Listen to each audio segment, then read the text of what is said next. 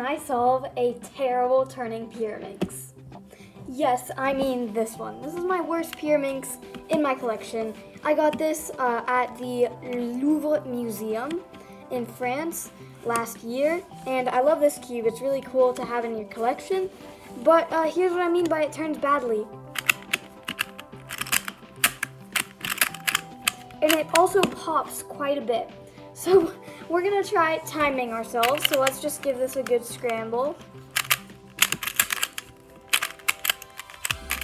Okay, hopefully that's good. Here's at an angle. Okay, got the timer. Now let's see how fast I can solve this cube. Alright, uh, let's just quickly inspect. This is a really confusing cube also because it's like the pattern's kind of different. So let's see what we have here. Okay, let's do it. Three, two, one, go. Um, um I'm struggling just a bit.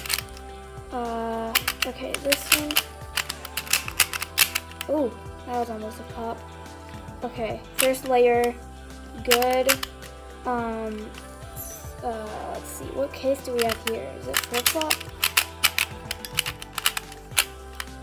Is that, okay. 28 seconds, that's even worse than my 3x3 time. Okay, let's try it again. Let's see if I can uh, solve it without, like, faster. So our time to be is 28. Okay. Let's do it. Quick inspection. Mm, okay. Uh, alright. Three, two, one, go. Oh, my timer malfunctioned. Three, two, one, go. Oh my god. Oh, and we have a pop. Okay. Uh, Ugh, hopefully it was in there. Um, I sense that this is not going to be a good solve, but we'll we'll keep trying. Um, oh my god, second pop. Wait, I think it was like this. Yes. Okay. Uh, wait, what case do I have here?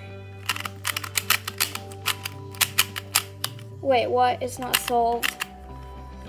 Oh no. Oh, flipped edge. Ugh.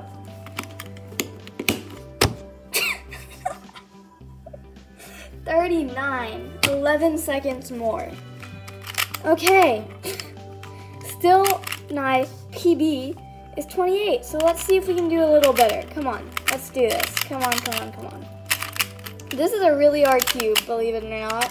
Because the colors are so similar and it sucks at turning. So yeah. Alright, let's do it. Three, two, one, go. Okay, uh, alright, so first of all, I'm gonna do these centers. Oh my god. Okay, this turns horribly. Uh, wait, this part. Okay. Oh my god. Two pops! This is not looking up. This is not looking up. Okay, let's keep going. Let's keep going. Wait. Oh no. Alright, first layer. Come on. Oh my god, another flipped edge. Oh. It's better than 39. I'll take it. Alright, let's do two more solves and see if we can actually beat our record of 28. Oh my god. And I popped it while scrambling. That's great. I think that's pretty good. Alright, let's solve. Okay, because I like Pyraminx, so this should be fun. All right, um, uh, uh, all right, let's try to go a little slower. Um, wait, where's the other piece? Oh. Um, uh, what case do we have here? Please tell me it's not another flipped edge. Yes! Oh my god, we beat it! 27 seconds! Yay! I feel complete. Okay, now I can officially store this away and not touch it again. I'm just kidding. Okay, overall, I think it's a great. I mean, I like this cube for to show people and stuff. It looks like the museum itself, and it's a cool cube to have. It's like a novelty cube.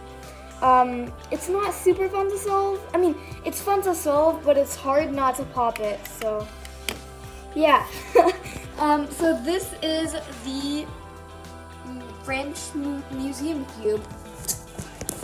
Thank you all so much for watching. I'll see you all in the next video. Rover out.